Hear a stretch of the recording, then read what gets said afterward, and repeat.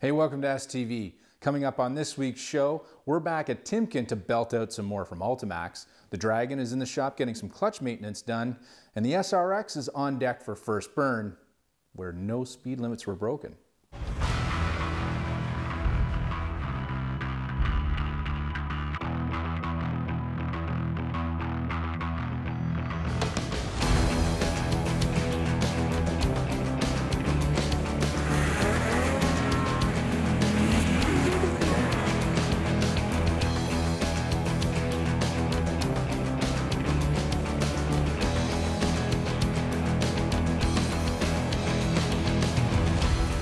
STV is brought to you by Yamaha. Conquer snow with Yamaha. Ultimax belts. Performance driven, performance proven. Ford F Series, Canada's best selling line of trucks for 53 years. Tough, smart, capable.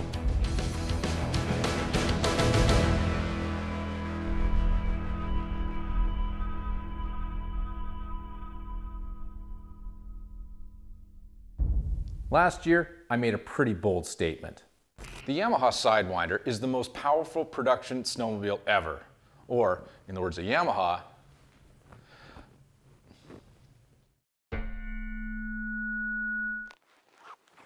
This might have been a little premature because for 2019, Yamaha dropped the hammer.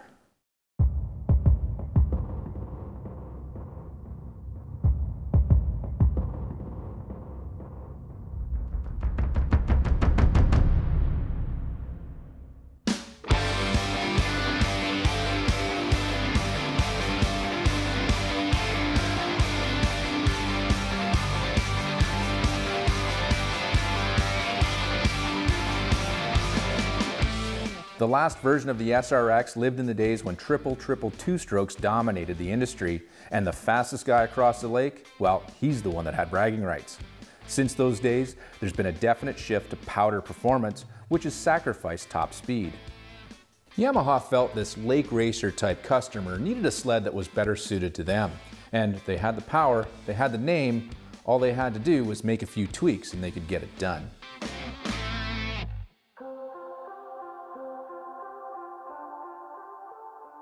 The first change Yamaha made was to the ride height by lowering it. This lowered stance helps the sled cut through the air at speed because it has less of a hole to punch through.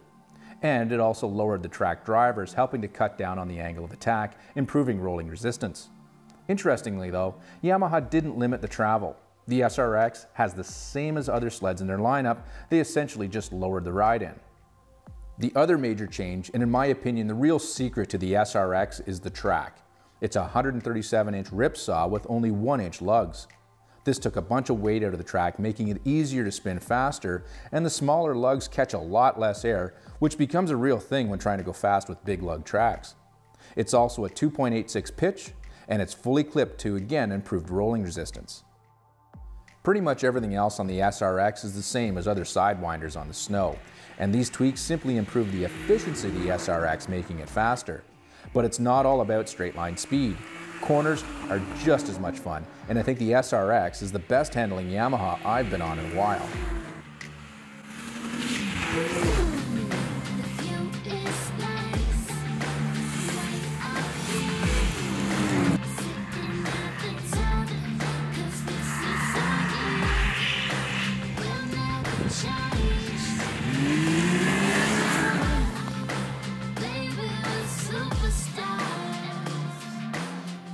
The low ride height has a bunch to do with this. With a lower center of gravity, the weight of the SRX doesn't want to pull the sled over as much in the turns. But I think it's the track that's made the biggest improvement. I rode those old triples a lot back in the day, and let me tell you, you could steer that machine as much with the rear end under braking and acceleration as you could with the front end and the skis. And that was because those old tracks were about a half inch high and they would really let you slip. These new machines with these big meaty lugs, they just don't let you work the back of the machine as much as in the corners. With the relatively small lug track of the SRX, you could get the rear to step out controllably under trail braking into a corner and then use the power and track slip to your advantage off the center and to help you get pointed off. The SRX even felt like it reacted better to body English than other lighter sleds I rode under the same conditions. I have to say, the trails that we were on were perfect for the SRX. We were first tracks on flat, squeaky trails, and the corners were a mix of long sweepers and not so tight 90s. Conditions were good for the SRX and it was fast, but it was its balance of grip front and rear that blew me away.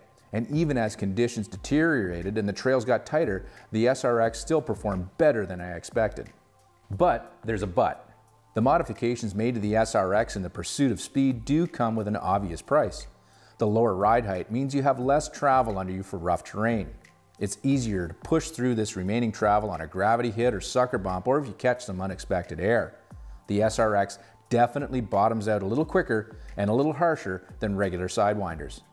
The one inch lugs on the track also sacrifice traction in deep snow get off the trail into even moderately deep powder, and you need to be thinking ahead about where you're going, where you're going to stop, and how you're going to get going again. But there's a but to that but. I don't think SRX buyers care about these sacrifices because the benefits of these changes outweigh them for them. And I don't think these guys care about carving up powder, and I think they will forgive suspensions for the odd hit because that's the way they rode back in the days of the last SRX. What the SRX buyer is going to care about is that when he comes to a big flat lake, Yamaha Blue is going to be out at the front of the snow dust cloud as he leaves everybody else in it. Except for maybe this guy, the Arctic Cat Thundercat.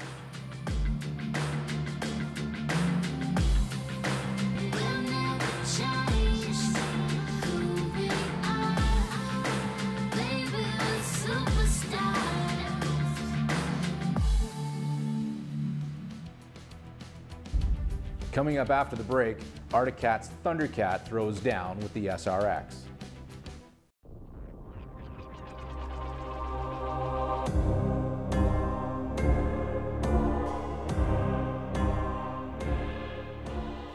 It's no secret that the brother from another mother to the SRX is the Arctic Cat Thundercat. Now the DNA of both these machines are practically identical and if there's any differences between the two at all, well that comes from the philosophy of their families.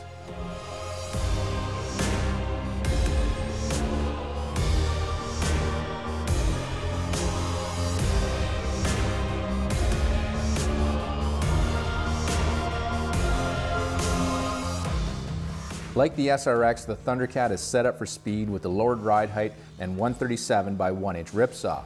However, each sled is refined by the engineering and testing teams at each individual company and honed to their specifications. All major components remain the same. Engine, chassis, and turbo are all identical, so neither sled can be called out as a ringer. That leaves refinement changes to things like clutching, gear ratios, and suspension setup. Another place these sleds differ is in the ski department.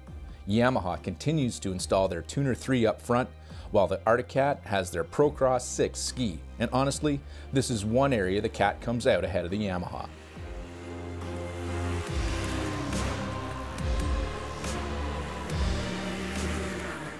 Back to back, I like the Arctic Cat ski better.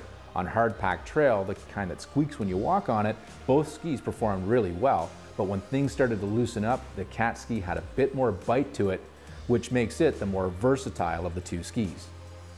Each sled is equipped with the Fox Zero IQS shock package that is three position adjustable right from the handlebars.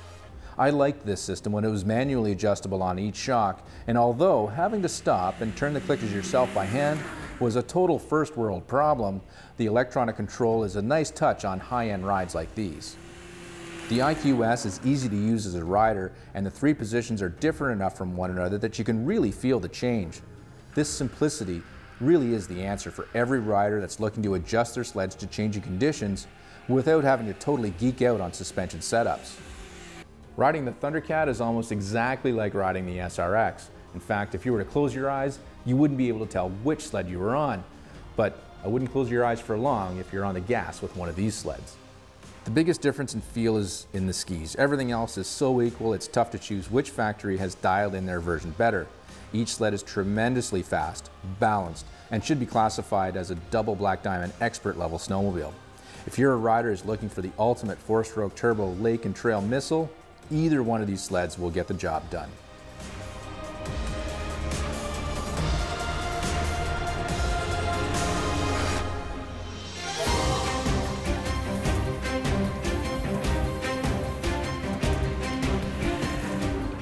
I did manage to find one little thing that crept up on each sled, and that was brake fade. Being as well balanced as both these sleds are, and with the Hayes braking systems being as good as they are on each machine, I was able to modulate the brakes really well coming into the corner and trail braking in deep without locking the track up. This put a bunch of heat in the rotor and caliper, and each sled suffered from a bit of brake fade in a relatively short amount of time. This problem is not unique to these sleds though, and it's an easy fix by changing out the brake fluid to higher temperature rated stuff. Now, I suppose you can always back off a bit, but there's no fun in that. Without having any timing and scoring equipment on hand, and the only device at my disposal being my butt, and as scientific as my seat of the pants feel is, it was not accurate enough to choose which sled is faster in a straight line, or which machine can negotiate a corner better than the other. I'm sure the internet forums on each side of the YamaCat fence will be yelling at each other, saying their version is the fastest, or which is the best all-road snowmobile. But is that so different from the days of the past SRXs and TCATs? I don't think so. Now, the only place to settle this disagreement is the one place these sleds were built for, the lake. Having the opportunity to ride both these sleds on the snow back to back, well, that's just another one of those best day at work type of scenarios. But having to choose which one is better is something that's absolutely impossible to say. Although, this blue one, and the way it looks on the snow, it's pretty sweet.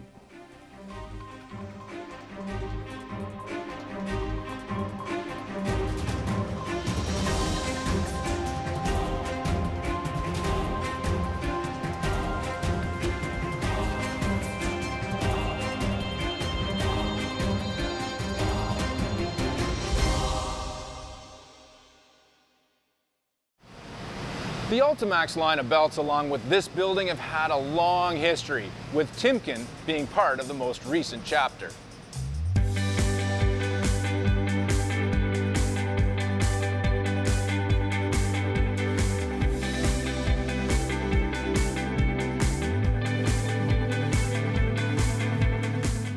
Timken's primarily um, play in the industrial market and they needed uh, to grow their mechanical power transmission offering with a belt line. And in that product offering was a belt line called Ultimax, which is ATV snowmobile belt. In Canada, that's, that has a big presence, especially with the snow that we get um, in our country. Um, the goal was to grow the industrial uh, belt offering and have these other two product groups kind of rolled up into it. So really exciting, especially in Canada. I mean, Ultimax it's been around since the early 60s, uh, have a strong brand following from you know, the sled heads and the ATVers out there. And as the side-by-side -side market grows in Canada, well, in North America, period, um, it's such a, such a fun product group. You know, the industrial world is, uh, it's consistent, it's, it's got a different feel out there, but the power sports world is fun, exciting, um, and, and the people that play in that arena are just fantastic people, and it's exciting to have that product group and to be able to go after that market. Within that space called power sports, there's also a lot of bearings, a lot of seals, a lot of things that Timken has the ability to make and grow into this space. Um, and I think that the Ultimax belt line will help Timken grow into this space as well, um, with bringing the, the, bearing to market, bringing some seals to market, um, even, you know, even some chain. There's power sports chain. I think there's a huge opportunity to grow Timken's core business within the, the power sports arena, for sure.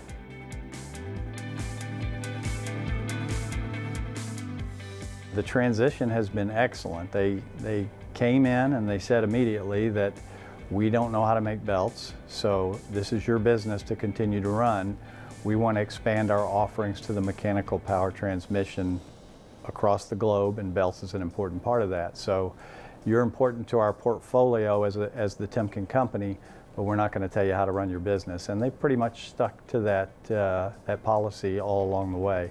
Uh, they're a very big company, uh, so they have some resources that maybe we couldn't afford as a smaller company when we were just belts. Uh, we have large laboratories based in Canton, Ohio that we've utilized to help do some advanced research on our products that, uh, I mean, we have excellent testing capabilities here in Springfield, but they were enhanced by some of those uh, capabilities that we have out of our corporate office? Well, I would say uh, that power sports itself is a uh, fairly small segment of our overall business, but it is a strategic part of our business. Uh, we've been in this industry for a long time. We break up our, our business into four market segments agricultural, power sports, outdoor power equipment, and industrial distribution. The power sports offerings really are connected with a lot of the offerings we have in the agricultural market. Uh, variable speed belts are important in that industry. They're also important in industrial distribution. What we learn in developing products there is leveraged also in the power sports market. So we think we can offer a product that outperforms and is better quality and uh, does everything that the users need out there in the field. It's a key, key offering and uh, an important product, not just to the belts business, but to Timken overall as well.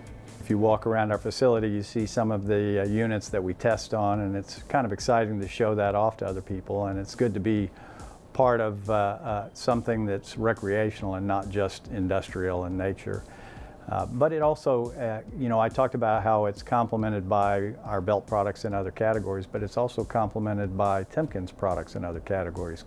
Couplings and housed units and things that uh, also go into this same segment uh, throughout uh, the globe, actually. So.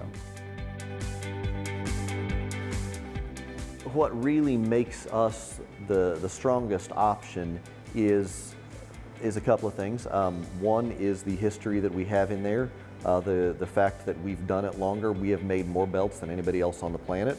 Um, we've made, uh, we our relationships with the, all the OEs um, should show something about the quality of the product that we put out.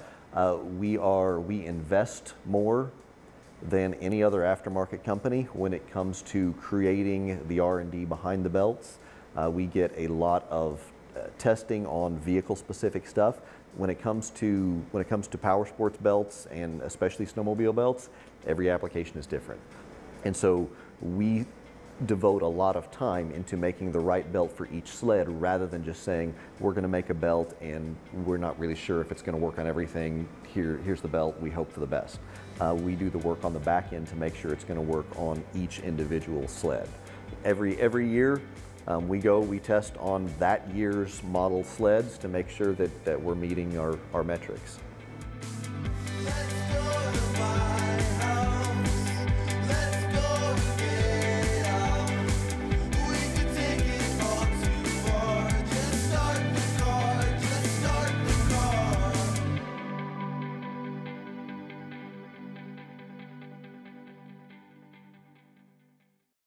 So another little project we've got for the old Dragon here is a clutch service, not to be confused with a clutch rebuild, because if this thing needs any parts, I don't have anything here to fix it with, but I think it's fine. This is more of a maintenance thing. Starting with the secondary, we're gonna pull this right off the sled to have a look at it on the bench. Now you can get some special tools to help do a service on a clutch, but some muscle and a pair of snap ring pliers can usually get the job done. If you need to replace parts, things get a little bit more serious and you may have to bring in a professional. Now what we're looking for here once you're inside the secondary is for any excessive wear on these ramps of the Helix or the roller bushings on the Spider. Rollers are notorious for seizing and then flat spotting. Some non-roller secondaries have slide bushings that you need to inspect for wear too. Brake cleaner is your friend when it comes to washing out any old rubber dust and oily residues. This buildup can really hurt performance and speed up wear if it's not cleaned out. From here, I'm going to take an abrasive pad and just clean and scuff up the sheaves.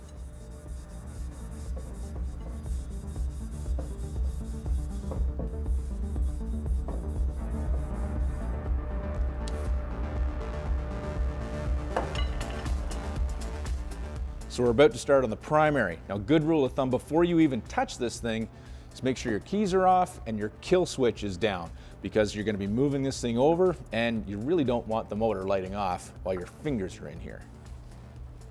Before I remove the primary cover, I'm using a punch to make a couple of dots to line up things for assembly. Some clutches may be balanced as a unit and it's good practice to put things back from where they came from anyways. For the primary, we're going to leave it on the engine, mainly because I don't have the proper puller to get it off, but this is just a service, so I'm unconcerned. Now because of the Dragon's design, I've run out of room to completely remove the hat, but I still have enough room to do what I need to do. You can use a pry bar to compress the spring and get the pressure off the rollers, and then a socket or something like that to wedge it open. This may not be the most correct way to do it, but it does work. Just watch your fingers if the wedge slips out. It can hurt a lot. Open like this, you can inspect each roller for flat spots and to make sure they rotate freely. Next, check the flyweights. Each have pivot bushings and pins that wear out, so that's what you're looking for. There will always be a little bit of play, and that's okay, but if anything is seized up or bounces around, these parts will have to be replaced. These, though, seem acceptable. Last on the primary list is the tower buttons. Make sure they're all there and that there's still plenty of meat on them.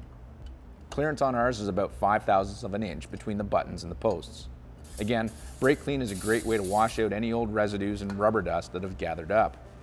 With everything clean, I'm putting the clutch together dry without any lubricant. Now you can put some light oil on the rotating pins, it's really up to you, but I like to keep things dry as I feel lube can make dust just want to stick a little bit more.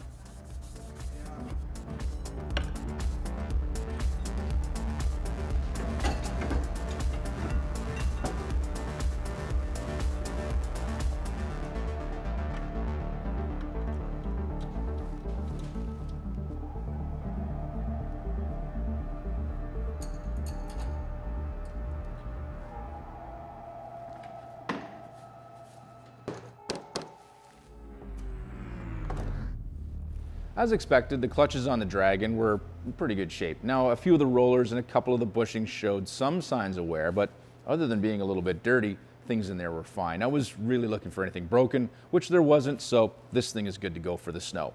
Now, a full clutch rebuild, that'll have to be on another machine for another episode. Hey, thanks for watching. Until next week, I hope all your trails are flat, your lakes are frozen, and your powder's deep. STV has been brought to you by CKX.